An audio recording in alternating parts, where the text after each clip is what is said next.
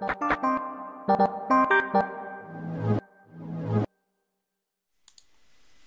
and welcome. This video is part of a series. In the last video, we used this math command to get two integers, any two integers inputted by the user, and add them together.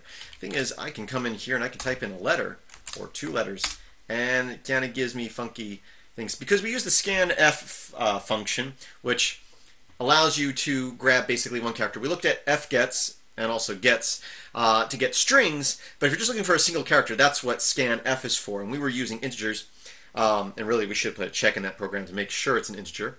Uh, but that's not what we're talking about today. We are going to use scanf again to get a character, but then we're going to get the ASCII value of the character. Now, if we go to this website, this is the first website that came up when I searched ASCII table.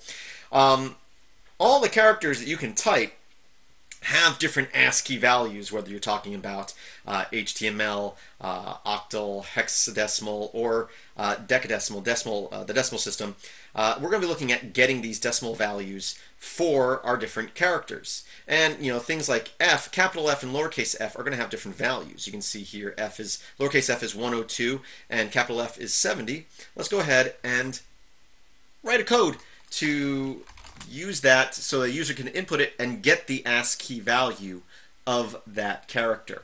Uh, so I already have an empty setup here for some code and here I am going to say in our main function we're going to create a variable, a character variable, char, and we'll call it C for character.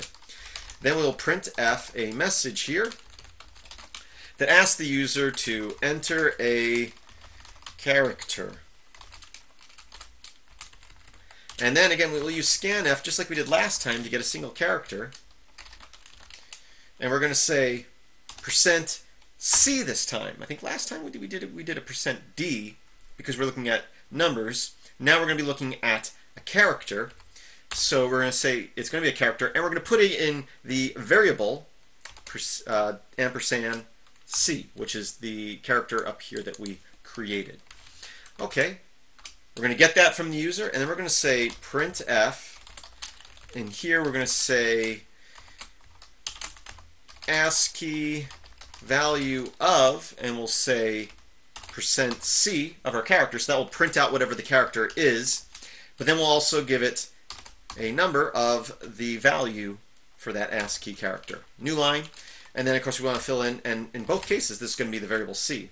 So one of them is going to be the character itself, and the other is going to be the ASCII, ASCII numeric value.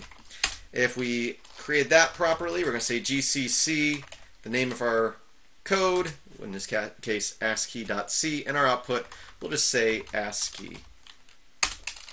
Go ahead and say ASCII, which is dot slash, again is saying we're running a command that's in this directory, and we'll enter a character, and we'll do F, and it says the value of f equals 102, and that's a lowercase f. And if we look at this and we come to f, we can see the decimal value for that ASCII character is 102. Uh, we can run that again, give it a capital F, and you can see it says 70, and that matches up with our chart right here, 70. Now, if we run this and we were to give it a couple of characters, so let's do F, G, H, you can see it's only going to grab that first character you can put in. It's going to ignore everything after that. Even if the user, you know, again, typed in a bunch of things, we know capital F is 70, it's going to return F equals 70. So that's how you can get the ASCII value, at least the decimal value for an ASCII character, I guess I should say. It's not the ASCII value. Uh, it's the decimal value for that ASCII character, I think would be the proper way to say it. Anyway, I do thank you for watching. Uh, please visit my website, filmsbykris.com. That's Chris the K. There's a link in the description. You can search through my videos there. You can search through my scripts and notes and programs there. And you can also support me either through PayPal or through Patreon. And uh, there's links to this stuff in the description of this video, as well as a link to this project. Um, GitLab.com forward slash metalx1000 forward slash MyBin, capital M, capital B. In there, there's a C folder that has a tutorial folder that has a list of C uh, sample code that goes along with this video series. I thank you for watching, and as always, I hope that you have a great day.